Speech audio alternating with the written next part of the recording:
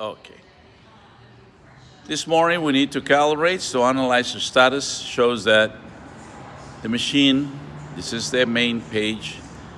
Then we'll go to the inspection lockouts. The inspection lockouts, it's due to the fuel cap test require.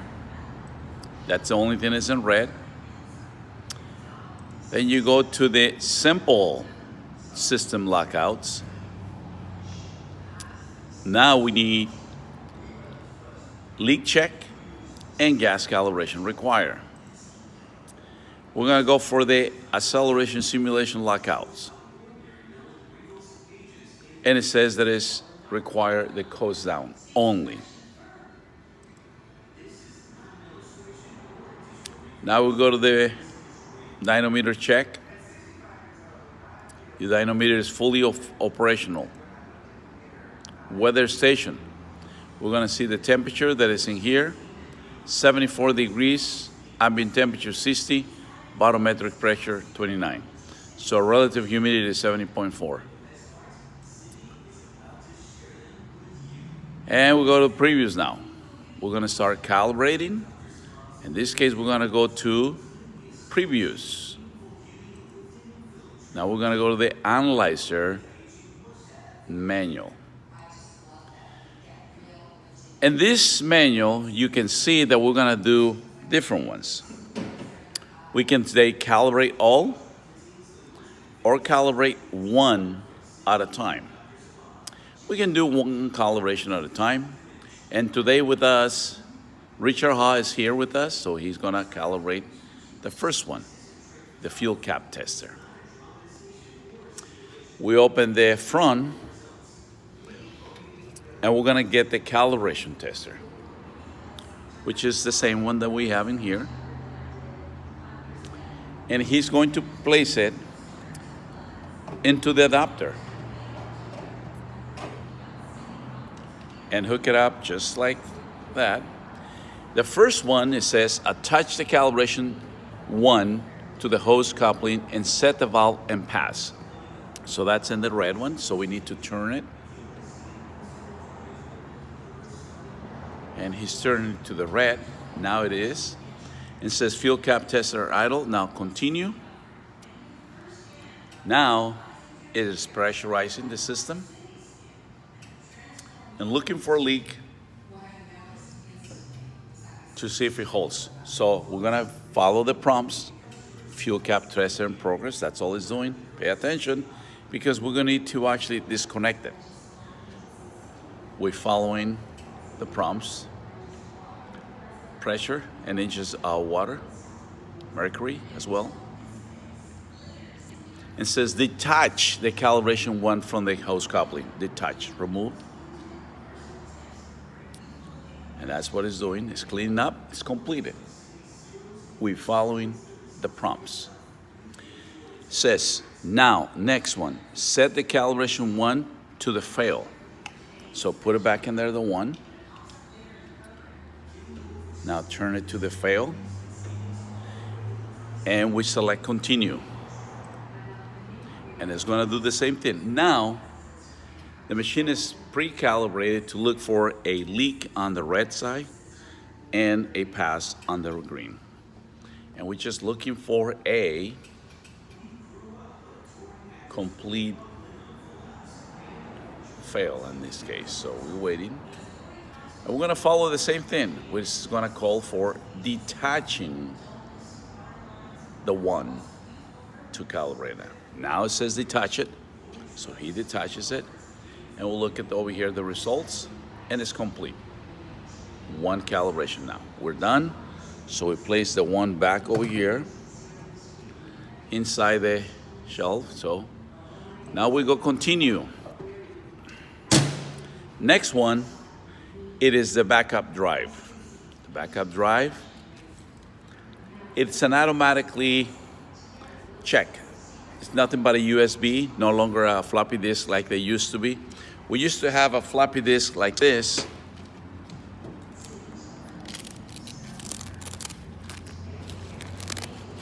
Where the old machines used to have an old floppy disk. Which was this machine, which now we're retiring. We're taking it apart. That's the old machine. Now we just go ahead and hit check, and it's already verified, it's done, and it's completed. It says that it has enough memory and everything. Next one, we're gonna do the calibration for the dyno. Then we're not gonna do warm up, we're not gonna do parasitics, we're just gonna go directly to the coast down. In this case, it says to clear the obstacles in the dyno, clear everything, and we have the dyno all clear. There's nothing in here to be obstructing. Now we hit stand and continue. And now it says star. Taking away the uh, air and the dyno begins to turn.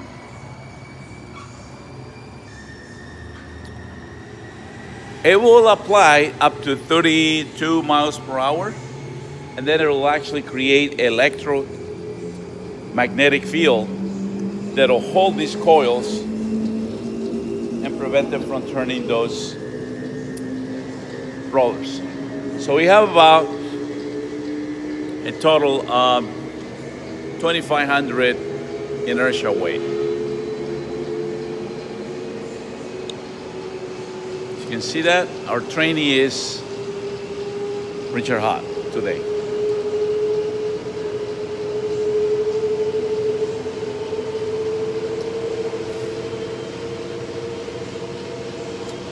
You can see the speed right here. It's gonna go up to 32, 33 miles per hour or so.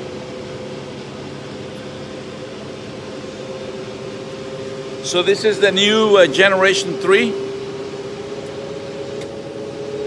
built-in is printer. Only five gas cap adapters needed now. Since we are only testing gas caps for 95 and down. 95 to 76, providing that we do have a gas cap adapter.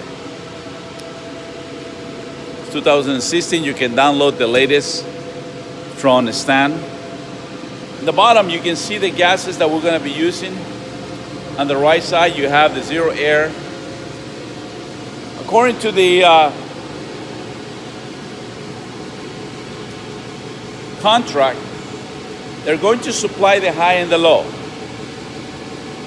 except for the zero air. The zero air must be purchased by the customers.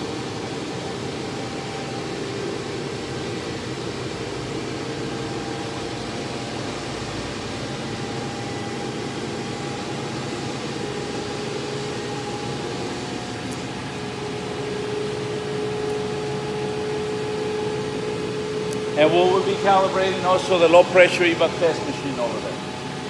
We're going to calibrate the two, this one and that one.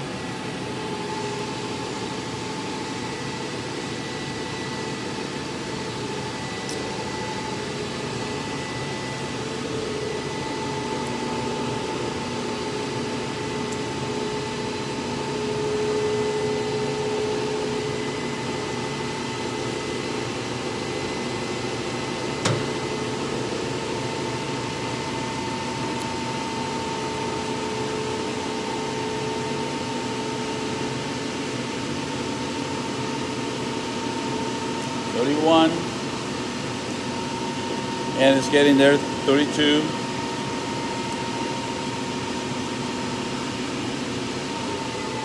And that right there puts the load into the dyno right at 32 miles per hour. And there is a torque up to 91 kilopascals, horsepower. You see that. Now it's gonna go to the second test, which is about 22 miles per hour. That's why we call it two speed. So we're doing a second test right now.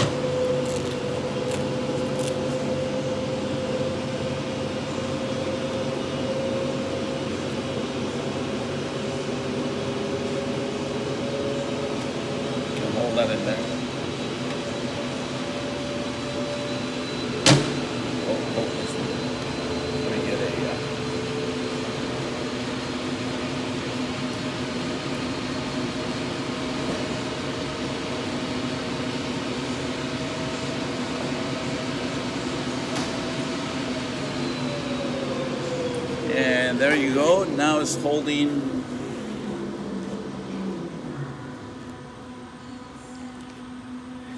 the 22 miles per hour. As you can see that, it's going to tell us whether it passed. It's a Maha dyno, description on it. And it says that we're close, 2,000 pounds of inertia. That's what it applied. So we're going to close that. And it says that it has passed, it goes down. So we can go to the next one. And we can go to the previous one. We don't have to do the parasitic or the warm-up. Previous. Now we're gonna go to the analyzer leak check. What this entitles, as you can see in the picture, that we're gonna take the probe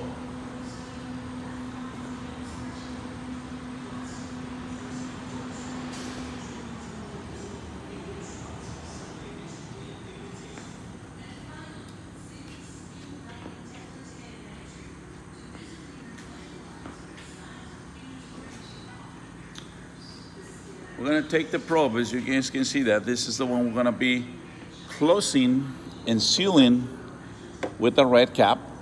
That's close, a red cap.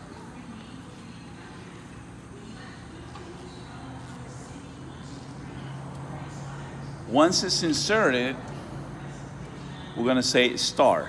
So what it's going to do is gonna look for any leaks into the system. You can see there's low flow detected, holding vacuum. So it will squeeze the rubber cap and it will hold it for a few seconds. Remove the probe and the leak check has passed. Green is good, red is bad. Now we go to the next one.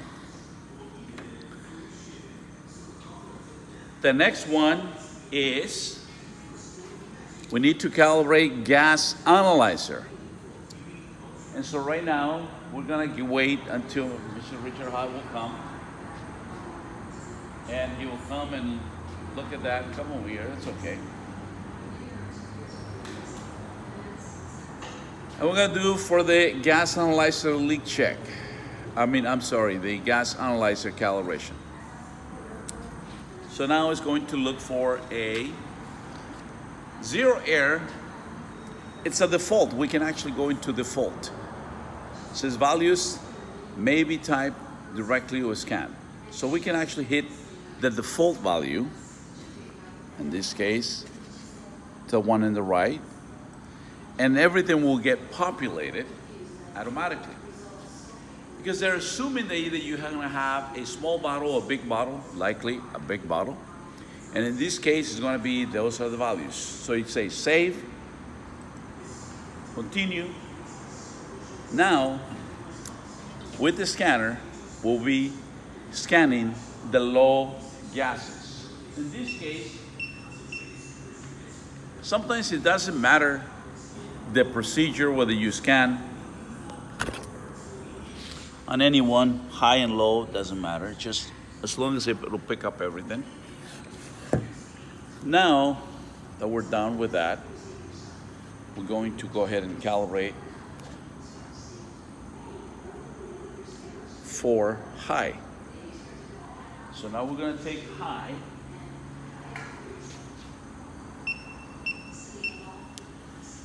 And we gotta make sure also that the bottles are not expired. If they're expired, they will be no longer good. Notice in the right hand side, they're not expired. It picks up all that information. And it seems like everything is good to go. Now, it states that we need to open all gas calibrations bottles, high and low. Select continue. So we're gonna open the bottles of gases and the zero air as well. And we're gonna say continue.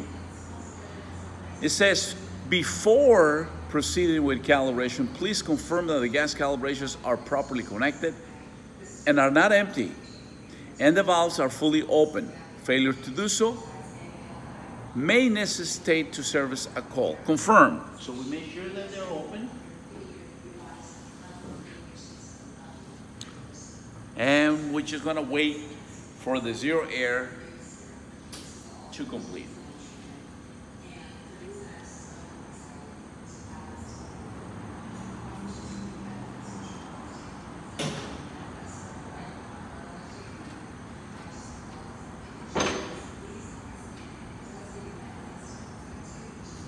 Today being November the 24th, it should require calibration in three days or 72 hours. So on the 27th, today being a Saturday morning, so it'll be good for today, tomorrow, Sunday, and Monday. So Monday night, before you go home, it'll need to be recalibrated so it'll be ready for Tuesday morning. So this way you don't have to calibrate on Tuesday morning when the vehicles are here in the morning and they need to be small. You already done so. So trying to get ahead of the game. Right now it's doing the zero air, getting the bench nice and clean.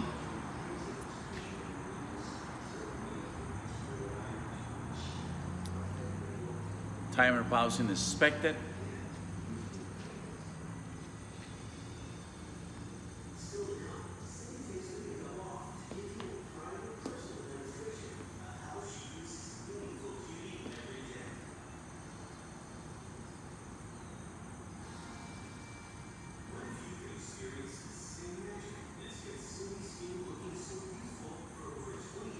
And there's zero. Now it's flowing the low gas calibration, so the bench is measuring low gases calibration.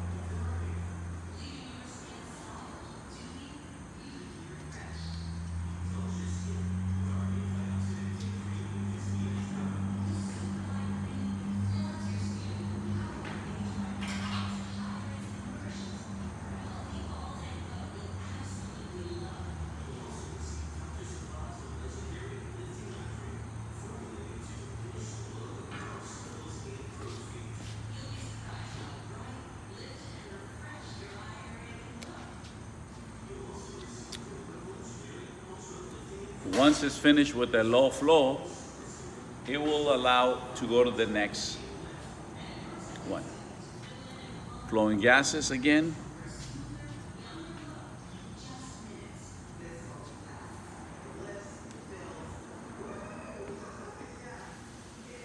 In total time so far, we're looking at least at 20 minutes calibration time, so you guys can figure out that that's how long it'll take to calibrate.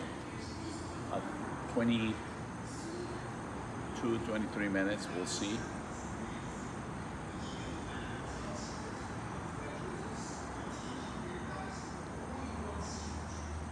Now we're calibrating with the high gas.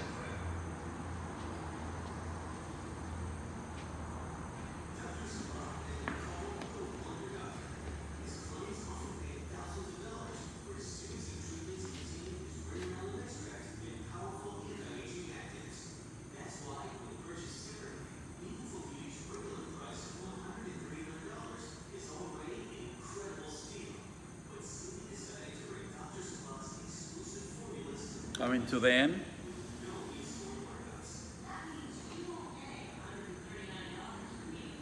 Now the calibration for the high gases, levels of oxygen, nitrogen, hydrocarbons, and CO had been embedded into the calibration time.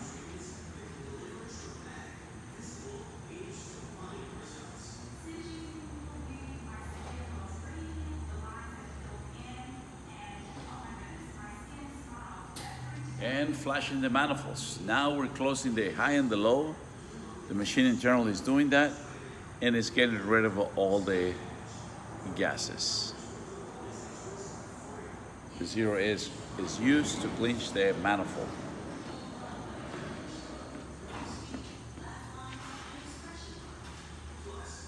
There's a post calibration in progress, meaning sealing everything.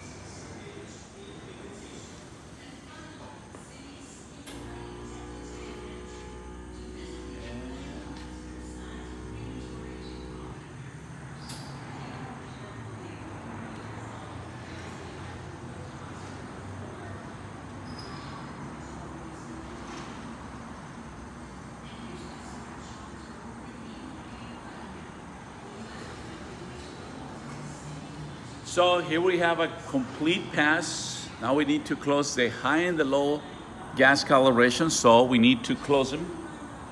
I'm closing them right now.